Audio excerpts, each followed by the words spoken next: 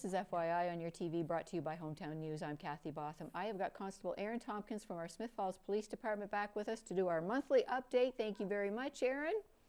Again, thanks for having me. Always a pleasure. Now, you received a, a, a very nice grant of $141,000. Can you talk about that? Yeah, so we were uh, successful. I'd like to say uh, we did a lot of hard work into that grant. And uh, what it is, it's at the provincial level. So we uh, policing municipalities, uh, cities across Ontario get to apply. And uh, we were selected. We were one of the only municipal police forces uh, or police services to receive the grant. And uh, what that enables us to do is our mobile crisis response uh, team, so MCERT, which is that uh, partnership with Lanark County Mental Health.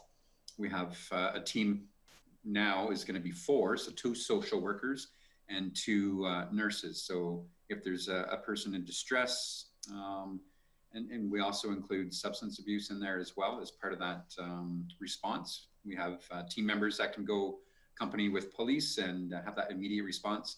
And the most important thing, so we have that immediate, but then we also have that follow up. So that person isn't just getting left behind or they're waiting and waiting and waiting. So it, it's it's really is uh, a great process, and that extra team member is going to be amazing for a few years. So. And you've spoke about that here too, as well too. Like when you arrive on a scene of something, to have that extra support there, and it's not just all the police officers to the person that you're coming to support. Uh, it means a world of difference sometimes. So to me, as a police officer, I'm responding to a call. There's nothing better than having a medical professional that can make that assessment on scene. Um, police officers, as you know, we we do tend to wear many hats. Um, and we're not experts in many of these fields. So if we can have an expert out, that that's a best case scenario for our community, for the person in uh, in crisis, and that follow up piece as well. So they're not um, they're not in that waiting period. So there's always that interaction with a mental health agency worker until they get engaged with uh, whatever services they need. So that's that's the whole premise of the model is uh, not to lose contact and to have less um, less repeat um, persons in crisis, and that's that's we've proven that it does work that way. Excellent, excellent. Now you've been busy doing some uh, presentations on fraud, making people aware of what fraud is. Yeah, so we partnered up with uh, Lanark County Victim Services and uh, did some co-presentations with uh, with them. Amazing, amazing uh, groups that we did deliver to. Uh, did some in person and some virtual, and uh, so just let everybody know we are getting back to that in person model, which is great. Um, but again, it's just that reminder. Um, I, and I can't remember the exact percentage, but uh, I know it, it, spiked from 2020 to 2021. We had like a, a 20% increase in the amount of victims in Canada for frauds. And the number was uh, like around $379 million. But the even more scary statistic in there is uh, only like less than 10%. I think it's around 6% of victims actually report being victims of fraud. So that 379 million equates to billions of dollars um, that we know is is out there. So. And they're they're so sneaky about it too. And like this time of year too, like right now we've got income tax, so they can be you know telling you click here to get your income tax, whatever they do.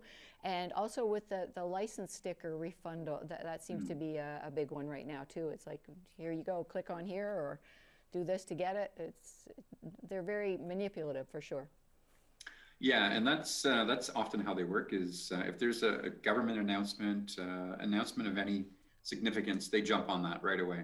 And uh, again, they're they that's they have to be proactive, just as as well as us, um, the policing, the law enforcement, uh, our community, our media partners. We all have to be aware, and that's uh, one of the big key messages that we we do say to anyone we present to is talk about it. If you hear something hey, Kathy, did you hear this? Or I got this weird text. Uh, and Kathy, you may have got that last night and said, oh, I heard from another friend. Don't hit that. Um, they're going to access your, your banking information. Or uh, no, I was told that the rebate checks are going to come by mail. The government wants to make sure your address is correct. That way they can uh, send you a check. So uh, again, it's all about talking uh, and spreading that awareness. And uh, more importantly, if you are a victim of a, a fraud or a scam, uh, don't be afraid to tell others about it. Um, it. It's hard to do, I know. However, that uh, the only way we're going to reduce that 379 million is uh, by doing that. That's right. And we, we talk about it all the time here, but we have to because it's still out there. We, we've talked about people having to buy, you know, hundreds and hundreds of dollars of gift cards. You don't have to pay for anything with gift cards. No, and that uh, seems to be a common one because it's instantaneous. They get the little numbers off the back of the card, and they have full access to that uh, account balance, whatever it is, and it, it's untraceable at that point. So. Um, be very, very cautious. And uh, again, we've been to the retailers. Uh, we'll have to do another circuit again, just to uh, the retailers out in our community, just saying, hey, be mindful of this. And you know what's scary too, Aaron, and you, you made mention of it too, is that what, what is the statistic? 6% of people have reported it. That means 94% of people have not. Yeah, and I did the math, and my calculator like almost exploded. It was like billions of dollars in in one year. Yeah, sad, sad. Well, on a better note, though, uh, Smiths Falls, as uh, the, our town and uh, Lanark County Interval House, and as well as you, have uh, teamed up, and we're going to be putting out a public mosaic. Yeah, so very excited to partner up with uh, Lanark County Interval House. Um, so they're already uh, in existence in Carleton Place and Mississippi Mills, and they're close to their town halls. And uh, it's just a nice way to have that memoriam for gender-based violence in our community. So again, it's not a topic we like to talk about, but we need to talk about it to make a difference. Um, that's again, having those communication lines, that public education, um, that knowledge that these crimes do exist is the only way we're going to reduce them and uh, let our community know that it's not okay. And these uh, crimes against uh, victims are, are, not okay and not acceptable. But, uh, and then we remember the ones that uh, unfortunately have had them uh, crimes against them. So. That's right. Now we've had uh, Erin Lee here, the executive director from Lanark County Interval House, and and uh, she spoke about the mosaics that they put up in Carleton Place and uh, Almonte. And is it Almonte? They have yes. The, yes, the Almonte, the other one. They're just beautiful. It's a community project. Like they're going to be asking for people, you know, for some ideas of, of what they want it to look like, and then putting it together too. It's such a community uh, event too, so it's it's it's wonderful to participate with. Yeah, exactly. So we'll uh, we'll be sharing that um, that timeline as uh, dates firm up, and uh, that's exactly it. It's a community-based project. We want people involved from our community. Um, and the nice thing that I didn't know is every mosaic is catered to our, our town, our city, or municipalities. Um, ours won't look the same as Carleton Place. It won't look the same as uh, Mississippi Mills or Almonte. Uh, there's another one up in Renfrew. So everyone is different, and it's catered towards our heritage, our roots, uh, what makes this our town, and what people love about our town. So that was really interesting to uh, to note. And then the um, I think the unveiling of the finished product is going to be early September. So excited about that. So when you start hearing words about it, I encourage people to to be involved because it is it's going to be our towns, and you'll have input on what it's going to look like. Exactly. That's right. That's right. Now I saw uh, you did a presentation to our CHIMO students. That was so nice to see uh, it, you were doing online safety, but it was so nice to see that you're back in the classrooms. Yeah, so again, uh, virtual platform, it, it, has its perks and it has its uh, advantages. We're able to uh, deliver in two hours to three different sets of grade or age groups.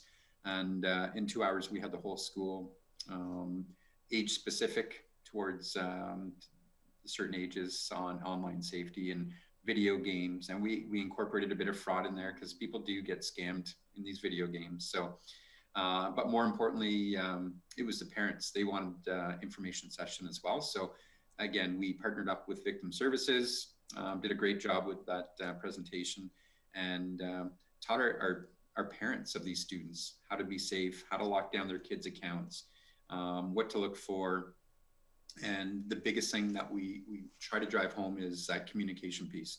So you can see it's a constant uh, or common theme in everything is, is talking about stuff, right? And that's the only way, okay, what is my child interested in? I like this game, dad. So you know what? Me as a dad, I'm going to look at this game. I'm going to play the game. Uh, is there an online chat? What's the conversations that are being in the chat, whether it be a, a voice or a type chat? And just to get a feel for the game. And uh, when my kids were smaller, I I played a lot of the same games just for that purpose to know what they were uh, experiencing in, in that setting.